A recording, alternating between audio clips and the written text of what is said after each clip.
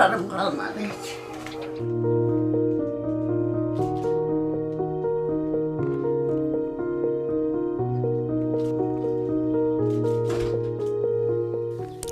Nasıl olur? Anadan da o meyleler işte ya. Yanlarında oluyorum yani öyle. Onlar olmayınca tabii yanlarına oturuyorum, yatıyorum. Başka bir şey yapamıyorum mu? Yemeği de bu kadar yediriyorum işte. Zorlanıyor musun?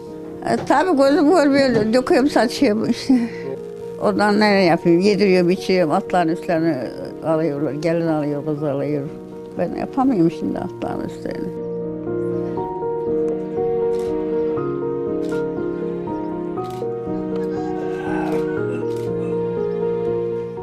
Böyle işte böyle böyle yediriyor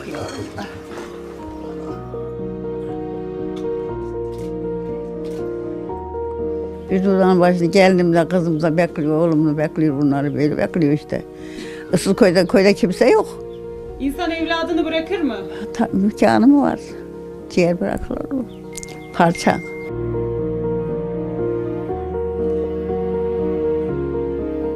Bebek gibi severim bunları ben. Kardeşi de çok sever, ablası da çok. Doğdular, aradan doğdular işte 60-70 yaşlarında büyüyorum, uğraşıyorum işte. Bu neler çektim, bir de ereçperlik.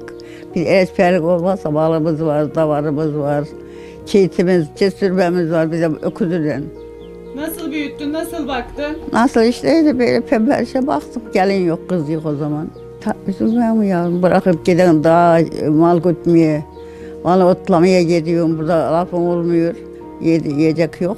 İlle götürüyorum gütmeye.